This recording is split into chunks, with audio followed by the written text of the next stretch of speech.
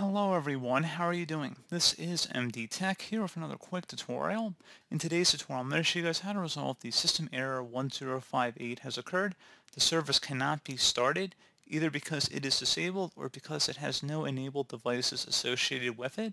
So this should hopefully be a pretty straightforward process here guys and without further ado, let's go ahead and jump straight into it. So we are going to start off by opening up the search menu type in services, best match, come back with services, go ahead and open that up. Now, just take note of whatever service the error specifically pertains to here. So it doesn't really matter, but let's just say, for example, if it was the Windows Update service, you go down to Windows Update here, you double click on it, and you would set startup type to automatic, and then service status you would start it.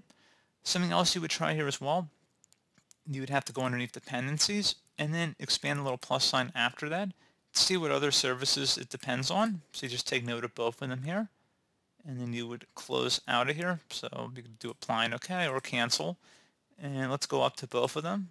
So the first one was a DCOM service.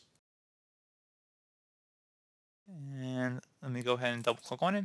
Make sure that is automatic and running. And then I'm going to go down to the RPC service. It says RPC here. And I'll go ahead and double click on it. And again, automatic and running. Now let me make sure that it was the correct RPC service. I know I'm kind of being a little nitpicky here, but let me just actually see the RPC endpoint mapper. So I believe that's the one I actually did adjust here.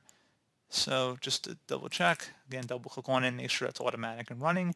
And again, you would do this for the specific service you're having the issue with that the error message is relating to in your specific case. So pretty straightforward process here, guys. Do hope I was able to help you out, and I do look forward to catching you all in the next tutorial. Goodbye.